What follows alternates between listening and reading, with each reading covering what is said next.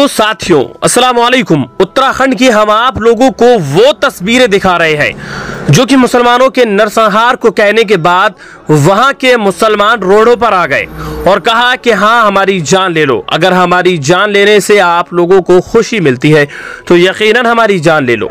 लाखों की तादाद में क्या लोग करोड़ों की तादाद में आने को तैयार है, लेकिन आपको बता दें, जब हज़ारों की तादाद में लोग वहाँ पहुँचे और वहाँ जिम्मेदार लोगों ने कहा कि हम मरने के लिए तैयार हैं। आओ और किसमें हिम्मत है जो हमें मारे?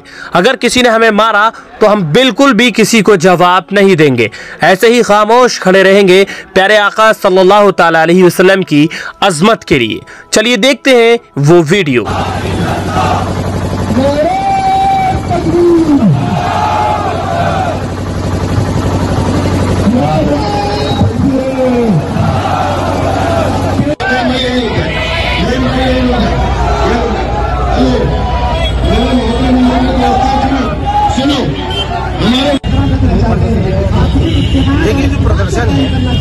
पंथ को या किसी मज़हब को बचाने के लिए नहीं है ये संवैधानिक प्रदर्शन है। अभी थोड़े दिनों पहले एक शर्म संसद हुई। मैं धर्म संसद नहीं कह रहा हूँ, मैं शर्म संसद कह रहा हूँ। ऑन एयर कह रहा हूँ, शर्म संसद हुई। जिसमें भारत की दूसरी सबसे बड़ी आबादी के बीस लाख लोगों को पहले लिस्ट में मारने की बात कही गई। और भारत को हिंदू राष्ट्र बनाने की बात की गई। भारत संवैधानिक राष्ट्र है न ये चलेगा न हिंदू राष्ट्र बनेगा।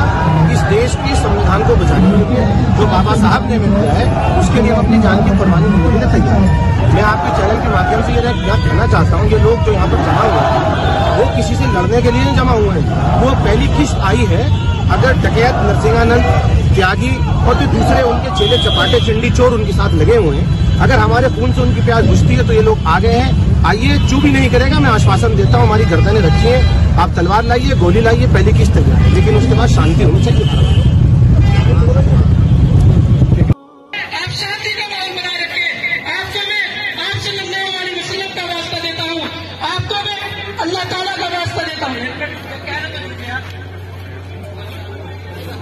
जाए आप बैठ जाए आप बैठ, सब बैठ जाएँगे इंशाल्लाह, आप बैठ। आप बैठ जाए, सब बैठ जाएँगे इंशाल्लाह। आप बैठ जाए बैठ जाए बैठ जाए। तो मैं